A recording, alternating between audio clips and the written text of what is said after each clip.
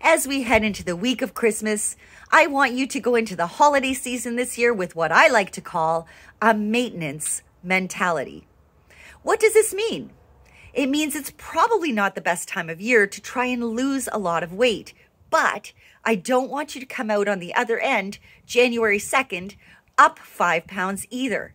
This year, make your goal to maintain your current weight over the holidays. So, how can we do this? Here's a few strategies to try. Strategy number one practice portion control.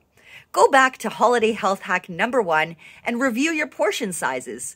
Focus on that over the holidays to help you manage those extra calories.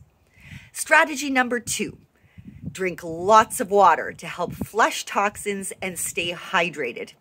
Aim for 10 to 12 glasses of water per day. Strategy number three keep those workouts in and move your body every day. This will help you offset extra calories and keep your metabolism revving high. And strategy number four enjoy a few of your favorite things in moderation. Watch for one more health hack coming up later this week. Everything in balance. Merry Christmas from Ignite Fitness.